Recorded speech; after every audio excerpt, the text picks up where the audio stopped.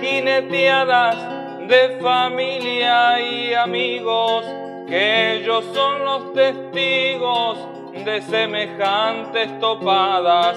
Pucha criolla jornada en la voz del relator, el floreo del payador que le canta un jinete que se juega sobre el flete y demuestra su valor.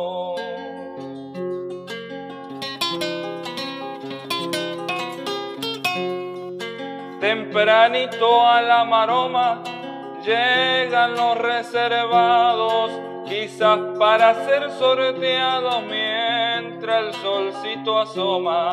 Y esto sí que no es broma, en una fiesta campera, el sonar de las guasqueras, un jinete se ilumina, desea montar en las clinas como en basto y en cimera.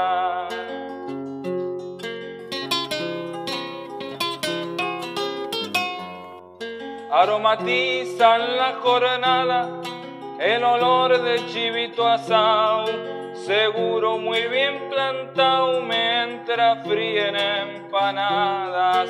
La pucha que buena hambriada que te da solo el pasar y también al mirar aquellos gauchos fogones y se ven en los tizones que brasa quieren sacar.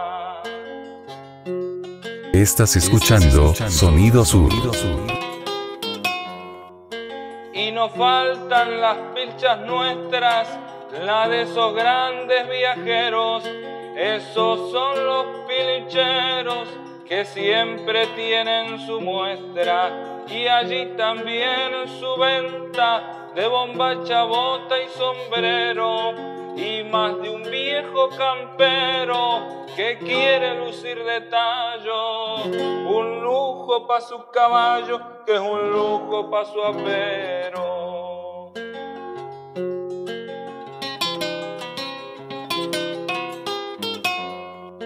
Si tiene sed, compañero, arrímese a la cantina, compre usted su bebida y remoje su garguero, pero cuidado campero, si se acomoda en la gorra, usted de ahí no se corra, seguro es un borracho que se parará de macho para buscarle camorra.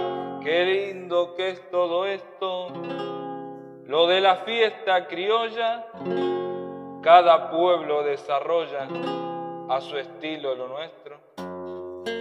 Y pongo de manifiesto en estos cortos renglones versos de amontones, solo para poder decir, lo nuestro no ha de morir si se defienden las tradiciones.